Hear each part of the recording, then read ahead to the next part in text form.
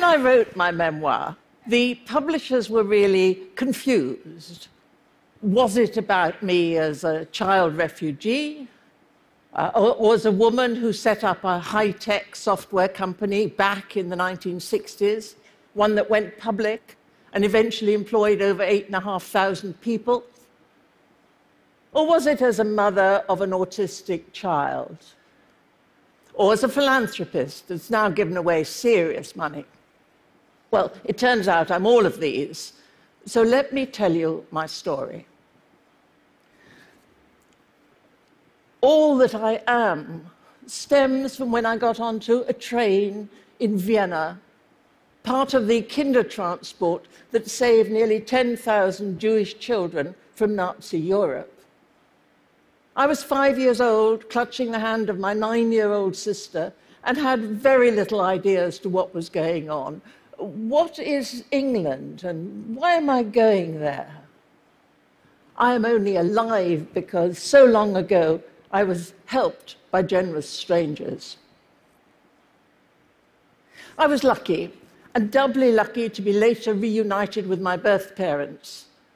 But sadly, um, I never bonded with them again.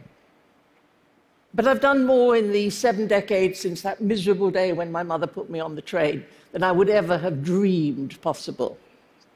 And I love England, my adopted country, with a passion that perhaps only someone who has lost their human rights can feel. I decided to make mine a life that was worth saving. And then I just got on with it.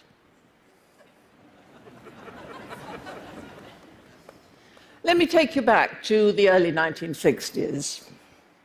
To get past the gender issues of the time, I set up my own software house, one of the first uh, such startups in Britain, but it was also a company of women, a company for women, an early social business. And people laughed at the very idea because uh, software at that time was given away free with hardware. Nobody would buy software, certainly not from a woman. And although women were then coming out of the universities with decent degrees, uh, there was a glass ceiling to our progress. And I'd hit that glass ceiling too often. And I wanted opportunities for women.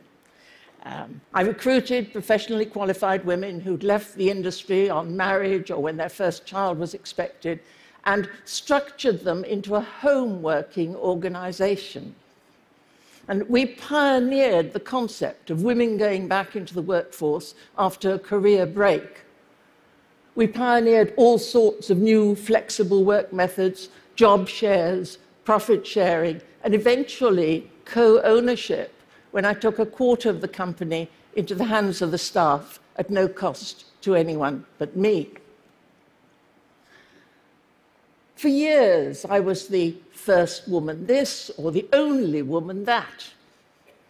And in those days, I couldn't work on a stock exchange, I couldn't drive a bus or fly an aeroplane. Um, indeed, I couldn't open a bank account without my husband's permission. My generation of women fought the battles for the right to work and the right for equal pay nobody really expected much from people at work or in society because all the expectations then were about home and family responsibilities. And I couldn't um, really face that, and so started to challenge the, the conventions of the time, even to the extent of changing my name from Stephanie to Steve in my business development letters so as to get through the door before anyone realized that he was a she. My company called Freelance Programmers, and that's precisely what it was. It couldn't have started smaller uh, on the dining room table and financed by the equivalent of $100 in today's terms, and financed really by my labor and by borrowing against the house. My interests were scientific, the market was commercial, uh, things such as payroll, which I found rather boring. So I hit a compromise with operational research work, which had the intellectual challenge that interested me and uh, the commercial value that was valued by the clients. Things like um, scheduling freight trains, timetabling buses, uh, stock control, lots and lots of stock control. Um, and eventually, the work came in.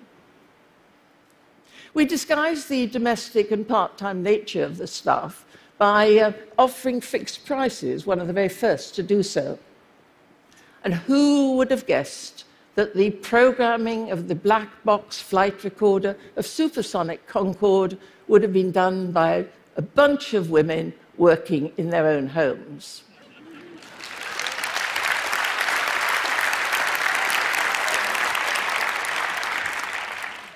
All we used was a simple trust the staff approach and the simple telephone. We even used to ask job applicants do you have access to a telephone? An early project was to develop software standards or management control protocols. And um, um, software was and still is a maddeningly hard to, to control activity. So that was enormously valuable. And we used the standards ourselves. We were even paid to update them over the years. And eventually, they were adopted by NATO our programmers, remember, only women, including gay and transgender, worked with pencil and paper to develop flowcharts defining each task to be done. And they then wrote code, usually machine code, sometimes binary code, which was then sent by mail to a data center to be punched onto paper tape or card, and then repunched in order to verify it. All this before it ever got near the computer. That was programming in the early 1960s. In 1975, 13 years from startup, equal opportunities legislation came in in Britain, and uh, that made it illegal to have our pro female policies. And as an example of unintended consequences, my female company had to let the men in.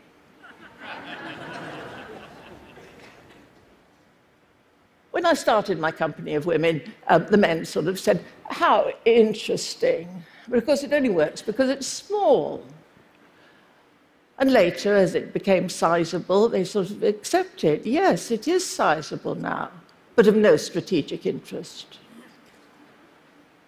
And later, when it was a, a company valued at over $3 billion, and I'd made 70 of the staff into millionaires, they sort of said, Well done, Steve.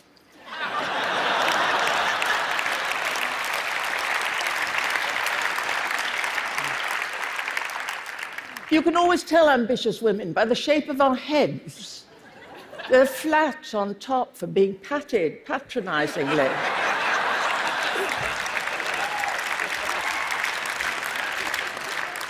and we have larger feet to stand away from the kitchen sink.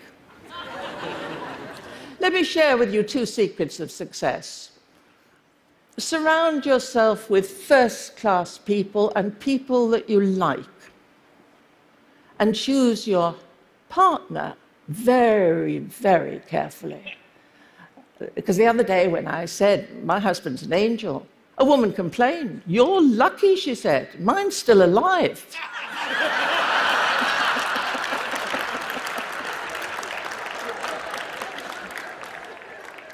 if success were easy, we'd all be millionaires. But in my case, it came in the midst of family trauma and indeed crisis.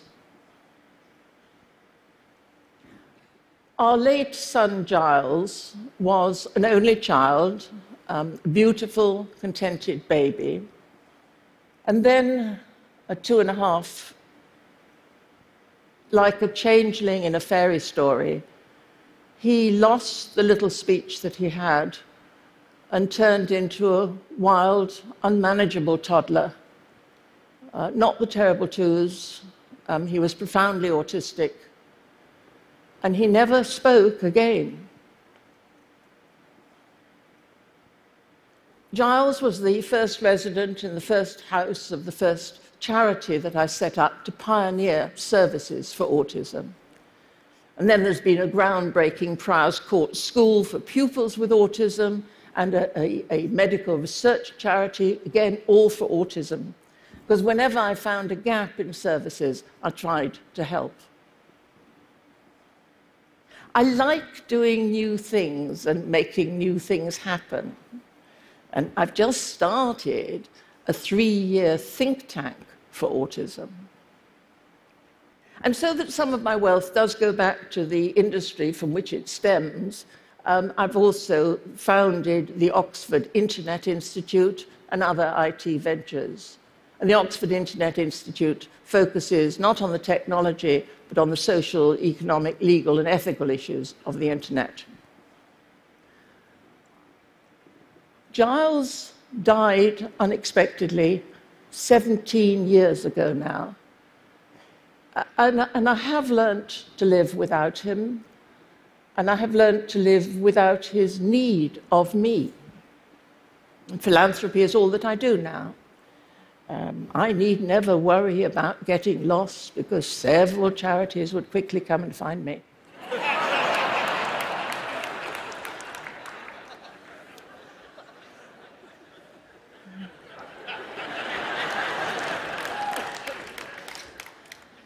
It's one thing to have an idea for an enterprise, but as many people in this room will know, making it happen is a very difficult thing, and it demands really extraordinary energy, self belief, and determination, the courage to risk family and home, and a 24 by 7 commitment that borders on the obsessive. So it's just as well that I'm a workaholic. I believe in the beauty of work when we do it properly and in humility. Work is not just something I do when I'd rather be doing something else. We live our lives forward. So, what has all that taught me? I learned that tomorrow's never going to be like today, and certainly nothing like yesterday. And that made me able to cope with change, indeed, eventually, to welcome change. Though I'm told I'm still very difficult. Thank you very much.